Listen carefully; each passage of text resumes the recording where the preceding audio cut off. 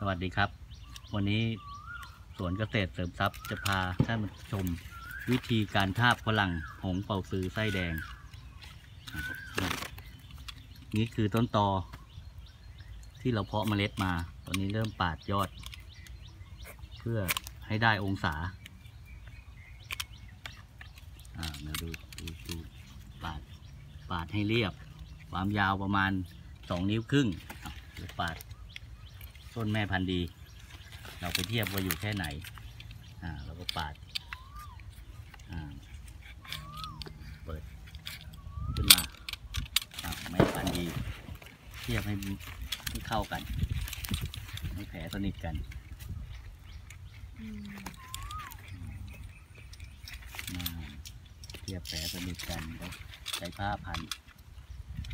เป็นผ้าพันกิ่งไม้ ซื้อจากร้านเครื่องเขียนก็ได้ครับสำหรับพันกิ่งไม้โดยเฉพาะ ก็จะมีความเหนียวพอเหมาะหนึ่งป้องกันน้ำสองทำให้แผลสนิท ติดกัน ใช้เวลาหลังจากที่ทาบแล้วประมาณหนึ่งเดือน แล้วเราก็จะมาฟันที่ ต้นแม่พันธุ์ เพื่อจะตัดอาหาร ให้ไปเชื่อมกับต้นตอ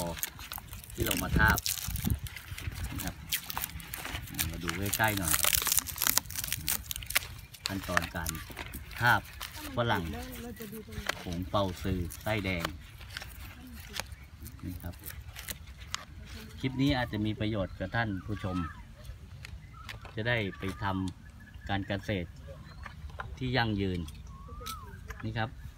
อีกหนึ่งเดือนเราฟันตรงนี้เลยครับ ฟันตรงนี้ปุ๊บแล้วก็คอยอีกสิบวันก็คือเป็นหนึ่งเดือนสิบวัน เราก็จะตัดไปลงแปลงเพาะชำอ้าวเสร็จเรียบร้อย ท่านใดสนใจกด subscribe กดกระดิ่งเพื่อรับชมคลิปต่อไปครับ สวัสดีครับ สวนเกษตรเสริมทรัพย์